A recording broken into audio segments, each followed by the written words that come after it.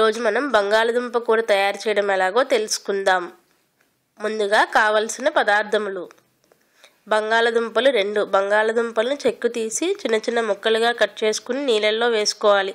ఇలా నీటిలో వేయడం వల్ల బంగాళదుంప ముక్కలు రంగు మారకుండా ఉంటాయి. టమాటోలు రెండు. టమాటోలను చిన్న చిన్న ముక్కలుగా కట్ చేయాలి. ఉల్లిపాయలు మూడు. ఉల్లిపాయలను చిన్న చిన్న ముక్కలుగా కట్ చేసుకోవాలి. పచ్చిమిర్చి ఆరు. పొడవుగా స్లైసెస్గా కట్ చేయాలి. అల్లం వెల్లుల్లి పేస్ట్ వన్ టేబుల్ స్పూన్. ఉప్పు రుచికి సరిపడా పసుపు చిటికెడు. కారం one tablespoon.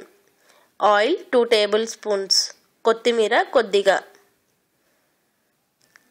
ఇప్పుడు తయారీ విధానం గురించి తెలుసుకుందాం. ముందుగా బాణలి పెట్టి స్టవ్ ఆన్ చేసుకోవాలి. బాణలి వేడెక్కిన తర్వాత రెండు టేబుల్ స్పూన్ ఆయిల్ వేసుకోవాలి. ఆయిల్ వేడెక్కిన తర్వాత ముందుగా కట్ చేసి ఉంచుకున్న ఉల్లిపాయ ముక్కలు పచ్చిమిర్చి ముక్కలు వేసి ఆయిల్లో బాగా కలిసేలాగా కలుపుకోవాలి.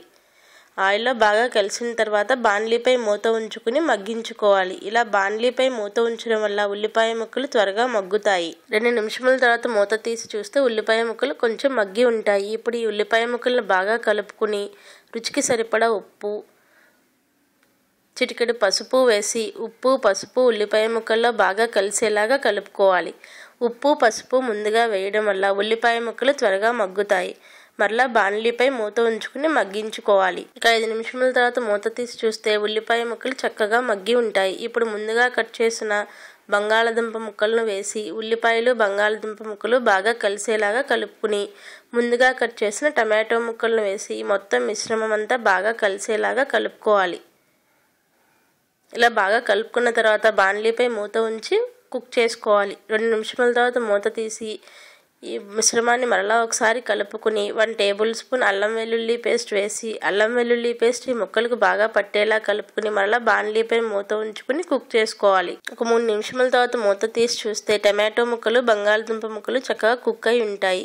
ఇప్పుడు వన్ టేబుల్ స్పూన్ కారం వేసి కూర ఉడకడానికి సరిపడిన నీళ్ళు పోసుకుని ఈ మిశ్రమాన్ని అంతా బాగా కలుపుకుని ఉడికించుకోవాలి.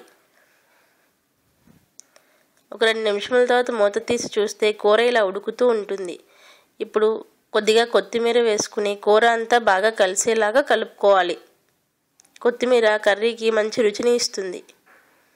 కొత్తిమీర బాగా కలిసిన తర్వాత మరలా బాణలీపై మూత ఉంచుకుని కుక్ చేసుకోవాలి.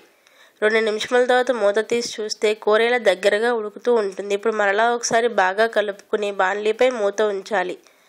ఒక మూడు నిమిషముల తర్వాత మూత తీసి చూస్తే కూర ఇలా దగ్గరగా ఉడికి ఉంటుంది. బంగాళదుంప కూర రెడీ అయింది. ఇప్పుడు స్టవ్ ఆఫ్ చేసుకుని బంగాళదుంప కూరని సర్వింగ్ బౌల్లోనికి తీసుకుని కొత్తిమీరతో గార్నిష్ చేసుకుని సర్వ్ చేసుకోవాలి. వేడివేడిగా ఎంతో స్పైసీగా ఉండే బంగాళదుంప కూర రెడీ అయింది.